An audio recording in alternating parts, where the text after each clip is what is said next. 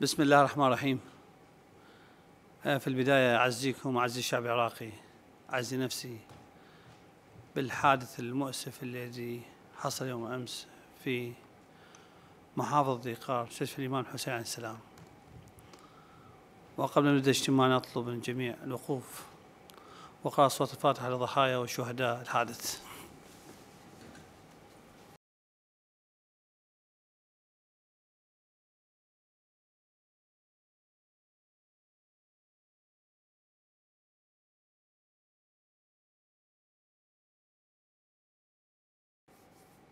ما حدث يوم أمس حقيقة في مدينة الناصرية وجرح عميق في ضمير كل عراقي جرح بمعنى الكلمة. شوف أبنائنا أهلنا عوائلنا يتعرض لهذه المأساة لأسباب العلاقة بالموروث اللي ورثناه. وبسبب فساد وسوء اختيار الأشخاص. أخوان المسؤولية تتضاعف وتتكرر يوميا مع هذه الفواجع في الأشهر الأخيرة. بعضها طبيعي مثل وباء كورونا أو التحديات الاقتصادية الوضع الاقتصادي. وبعضها بفعل فاعل.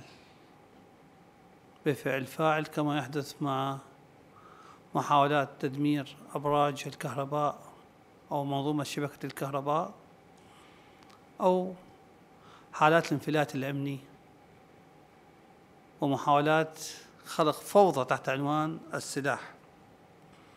والهدف منها هو مصادرة القرار الوطني من المواطن العراقي ومنع من الإيمان بفرصة أمل بأن العراق يطلع من هذه الشرنقة من هذه الدوامة الفوضى اللي عمرها 17 سنة.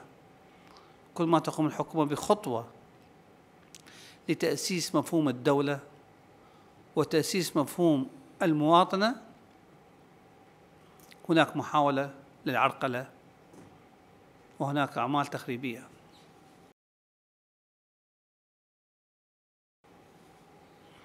نقف اليوم أمام شعبنا أمام عوائل الضحايا ونقول سوف نحاسب المقصرين بكل قوة. ولهذا ذهب اليوم وفد حكومي عالي رفيع المستوى من الصبح إلى محافظة ذيقار لمتابعة احتياجات المستشفى احتياجات أبناء المحافظة واحتياجات عوائل الشهداء. واحتياجات الكادر الطبي. وكذلك قررنا يوم أمس في اجتماع طارئ تجلس لجنة تحقيقية على المستويات للتحقيق بما حصل وما جرى. كل هالخطوات هي انتصارا لدم الشهداء الذي خسرناهم يوم أمس بسبب العبثية بسبب حادث نحتاج نعرف عن مسبباته. لماذا الذي حصل؟ ولماذا لم يتم الاستفادة من التوجيهات الأخيرة؟ بعد حادثة مستشفى ابن الخطيب.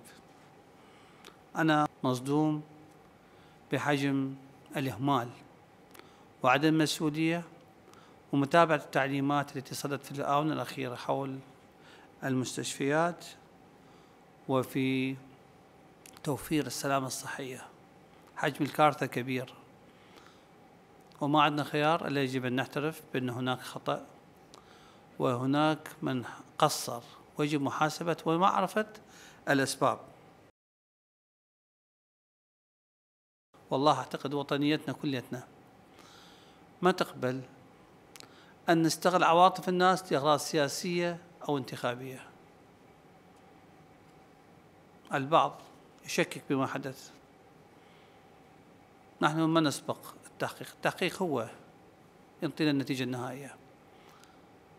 هاي الحكومة منذ اللحظة الأولى كل اللجان التحقيقية التي أعلن عنها تم تنفيذها بوقت قصير والتزمنا بالتوصيات. حال حادثة كذلك. اللجنة سوف ترفع تقرير خلال أسبوع ونعمل على تنفيذ التوصيات ولكن أحب أن أذكر البعض.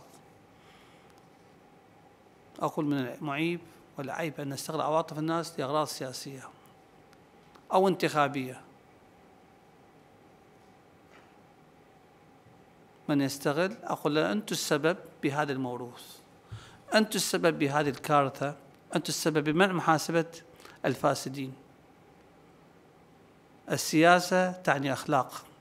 السياسة مسؤولية أخلاقية تجاه الناس. أنا دائما أوجه أقول لن نكون مثل باقي السياسيين الذين يحاولون يستخدموا أسلوب الغاية تبرر الوسيلة. المطلوب من عندنا؟ العمل بكل جد بتأسيس قيم أخلاقية بالعمل السياسي لخدمة ناسنا قدمنا مجلس النواب منذ فترة مرشح لوزارة الصحة.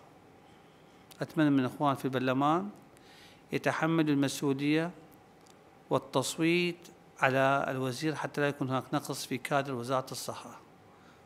عين العمل لخدمة الناس. عين العمل لتأسيس بيئة صحية آمنة للانتخابات؟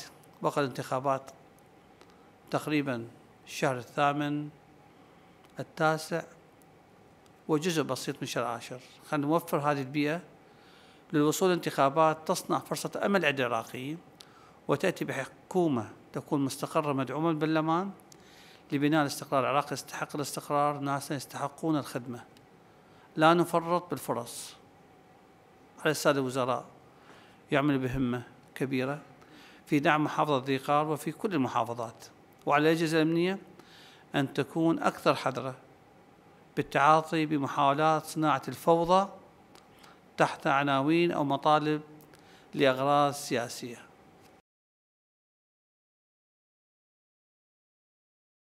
إحنا ما جايين طلاب سلطة إحنا جايين طلاب خدمة عامة. نخدم ناسنا نخدم بلدنا ونحاول نطلع من عملية الفوضى التي تأسست على مدى 17 سنة. لازم نعبرها ولهذا السبب كل خطوة ناخذها هناك عملية عرقلة واضحة. كل عملية بناء ناخذها هناك تصعيد إعلامي من بعض الأطراف واستغلال لتشويه صورة الدولة.